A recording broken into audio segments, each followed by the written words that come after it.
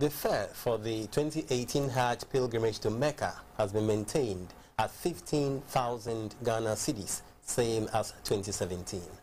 The Vice President, Dr. Mahamudu Bawumia, who disclosed this during his Ramadan tour of the Ashanti region, said the decision was to enable many Muslims take part in the pilgrimage to the Holy Land.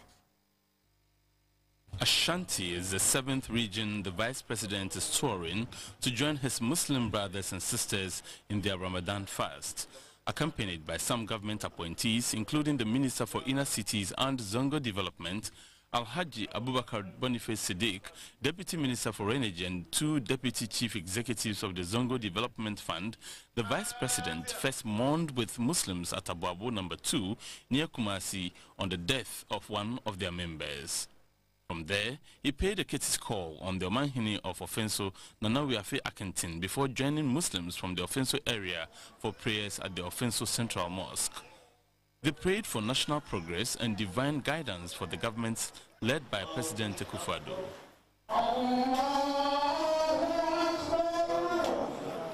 The Sarkin Zongo of Offinso, the Sahako Kabori, appealed to government to establish an Islamic senior high school in the Offinso municipality to provide the educational needs of the Muslim community. The Minister for Inner Cities and Zongo Development, Alhaji Abubakar Boniface Siddiq, said the NPP government who has the welfare of Muslims at heart. The Vice President, Alhaji Dr. Mahamudu Bawumia, noted that despite the difficult economic circumstances inherited by the government, it is already redeeming its priority campaign promises. He said the Zongo and Muslim communities stand to benefit substantially from the free second cycle education program since it has eliminated the cost barriers to formal education.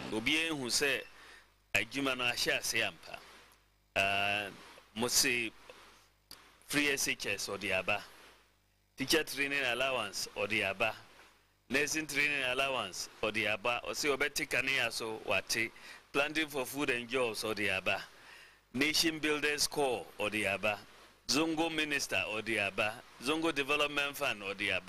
So I share see agrono so ebe so say if you na patututu. So nyame adom ebe